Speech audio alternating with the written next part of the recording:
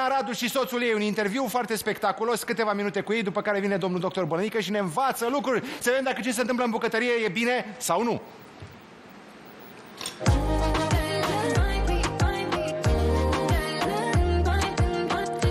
Și atunci când mă țineai de mână Nu mi-era teamă nici de furtună Dragoste de bună, nu, nu Știam că totul e o minciună Și că visele mele Bună, Oana, la mulți ani! Tot ce-ți dorești, Mulțumesc! să fii sănătoasă, fericită și să ți se îndeplinească toate visele. Și vouă și orice. Mulțumesc, mulțumesc, sunt foarte frumoși și să știi că 3 pentru mine este o cifră foarte importantă. Da? Da, mi se pare că îmi poartă noroc și o cifră foarte importantă în univers. Mă bucur că am ales așa. Mulțumesc.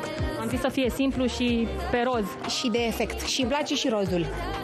Foarte bine. Am nimerit-o, am nimerit-o. Cum ești de ziua ta, cum petreci și ce cadouri ai primit?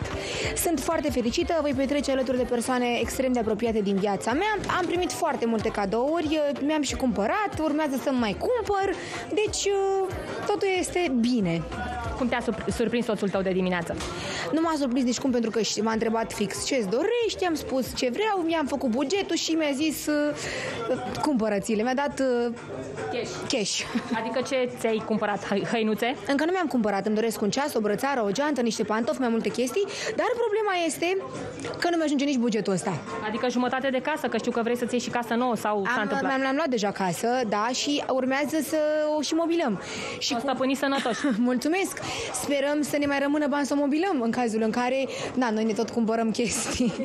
Da. Deci cu bugetul de bă, ziua ta ai putea să mai cumperi ce? O bibliotecă, un fotoliu? Bugetul de, zi, de ziua mea aș putea să mobilez o cameră întreagă destul de mare. Cum sunteți voi acum? Suntem bine, uh, pe drumuri mereu muncim foarte mult și încercăm să avem parte și de relaxări, că na, mai trebuie din când în când. Uh, Întorcându-mă la ziua ta, cum te simți la această vârstă frumoasă pe care ai împlinit-o azi? Uh, Ești împlinită, fericită? Da, sunt împlinită, fericită, sunt sănătoasă și uh, credeți-mă că ăsta e cel mai important lucru, pentru că sănătatea este un lucru extrem de important și dacă nu am fi sănătoși, uh, nu am reușit să facem nimic și cred că ne dăm seama de fapt cât de importantă este sănătatea atunci când ne este rău. Și iată că nu putem face lucruri uh, sau lucrurile pe care ni le dorim. Așa că e tot ce-mi doresc. Mă simt foarte bine. Ce-ți mai dorești pentru tine de acum înainte? Doar să devin cea mai bună varianta mea, atât.